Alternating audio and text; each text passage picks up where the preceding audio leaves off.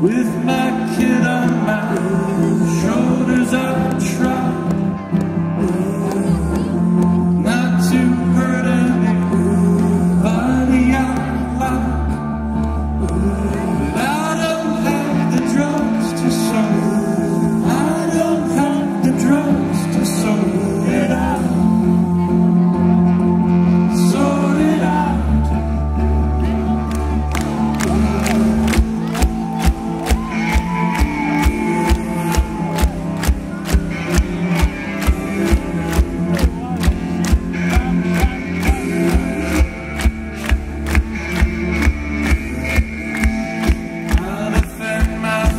move.